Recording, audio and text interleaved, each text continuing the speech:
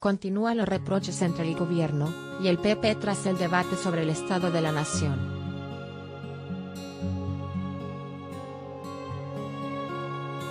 El ministro de la Presidencia, Félix Bolaños, ha asegurado que al líder del Partido Popular, PP, Alberto Núñez Feijóo, España le queda muy grande.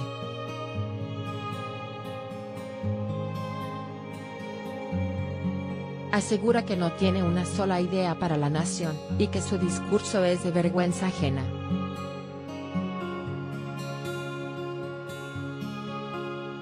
Así lo ha dicho en un acto en Colmenar Viejo, en Madrid junto al secretario general del PSOE Madrid, Juan Lobato.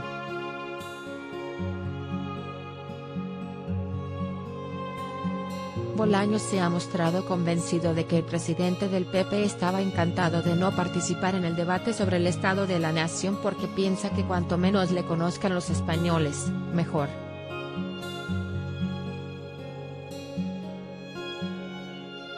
Sin embargo, apunta que la sociedad conoce de sobra al PP de Feijóo porque son los mismos que los de Casado, Mariano Rajoy y Aznar.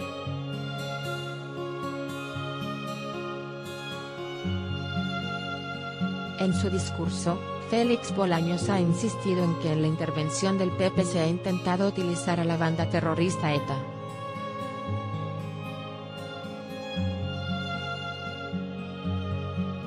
les acusa de estar con el reloj parado desde hace décadas.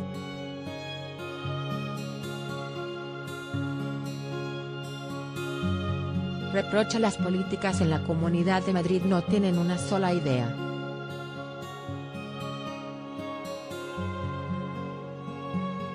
Ellos siguen con los suyos, con las grandes eléctricas y las entidades financieras y nosotros con la clase trabajadora, ha afirmado.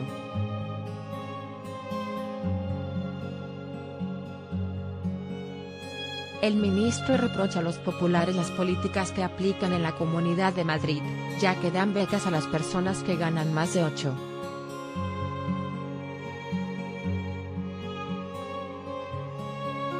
.000 euros al mes, mientras que el gobierno aumenta en 100 euros las becas de los estudiantes que tienen dificultades.